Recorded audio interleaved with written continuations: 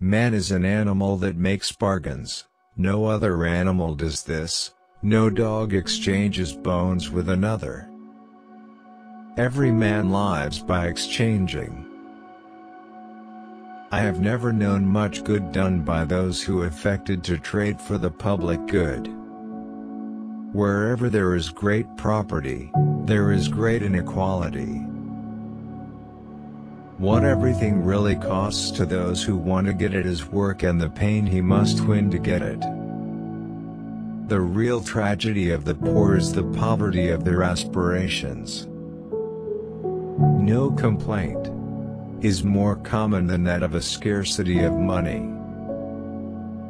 We are but one of the multitude, in no respect better than any other in it.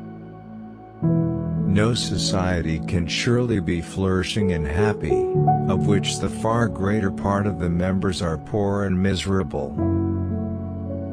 Man naturally desires, not only to be loved but to be lovely.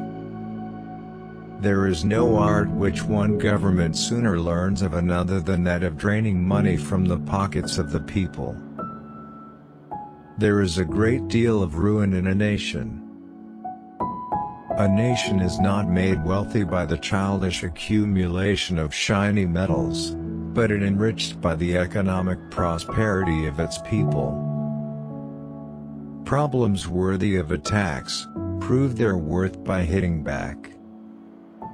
Individual ambition serves the common good. Virtue is more to be feared than vice because its excesses are not subject to the regulation of conscience. Never complain of that of which it is at all times in your power to rid yourself. The first thing you have to know is yourself. A man who knows himself can step outside himself and watch his own reactions like an observer. The great secret of education is to direct vanity to proper objects. No society can flourish of which the greater part is poor and miserable. Please like and subscribe our channel thanks for watching.